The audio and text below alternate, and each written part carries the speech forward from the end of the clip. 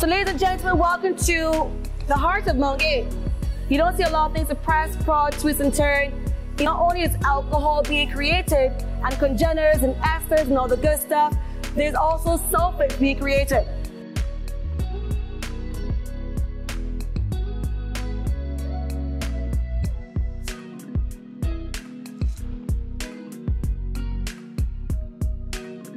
Beautiful.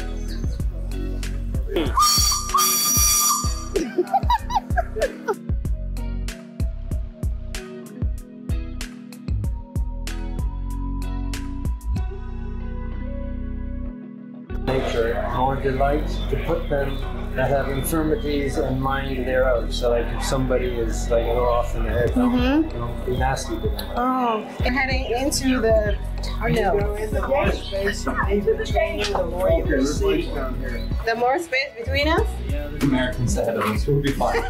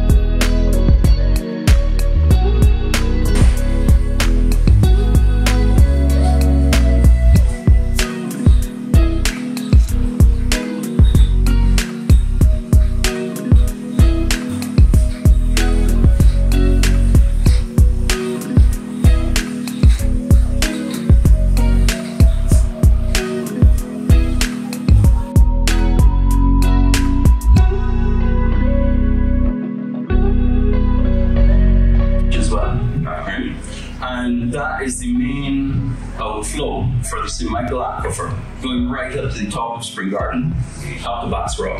And it would have just been part of the, the aquifer, the stream water that's sitting um, on top of the salt water. of influence, Barbados' position uh, to the east as the indigenous people identified it in the name, the land beyond.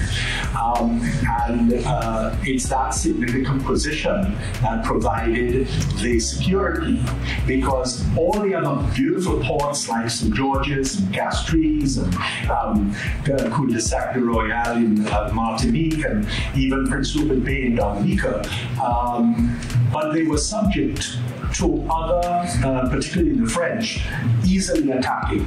That's, that's But the fact, of course, that Barbados was far to the east and you'd have to attack against the wind to that's be able to where get up just there. going more than 30, 30 degrees off the wind at that's the times. Exactly. The spring is still there. If you were to exit, a house is being built illegally in the location of the spring. But if you go and look, you will still see reeds, water reeds grow in there, which is a sign that water is still flowing. And as a child, when we swam at Brownes Beach, as soon as you went past where the waves were breaking, water was bubbling up, fresh water bubbling up from the spring. the bottle only cost fifty dollars, $50. Nevertheless, it was, you know, it was going to provide quite a few shots. um, if you were having two or three shots, that maybe it meant only five dollars. So if the wages were thirty dollars, um, that was a small section. But if you bought a bottle that night, if it was your turn to buy the bottle, then it was a, a bigger, a bigger impact. And of course, people would drink sometimes, you know, for a very, very long time. And our last Governor General, Sir Elliott Belgrave, wrote a wonderful autobiography in which he discussed that point about the village shop, the rum shop, and the drinking late at night on day. so I can only say I apologize for my exaggeration. We all exaggerate, exaggerate when we're on a roll, but it would have been significant in terms of some, some occasions. Um, of enslaved people um, during the, the slave period. The reason for that is that when you go visit the site, when you get the opportunity to visit the site, it is part of uh, the sugar landscape that is not the most ideal space for sugar production. So where um, plantation um, grave spaces or barrel spaces were placed before might have been basically plowed over, and plowed into other fields for sugar production over the last number of centuries. This particular field was able to remain in existence since the 17th century right up till now because it wasn't really possible to use this space for sugar production.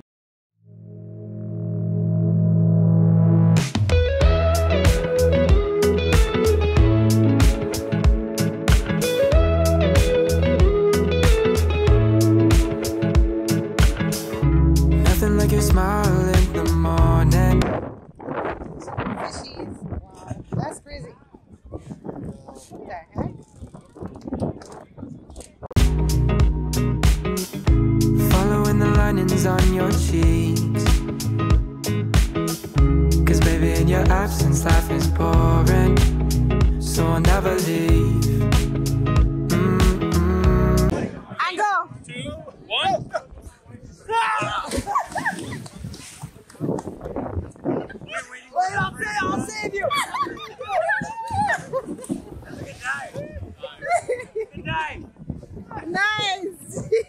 Hashtag go in. I- Forward, front, backward. Everybody wait forward. You gotta Over, go back. over, over. Yeah.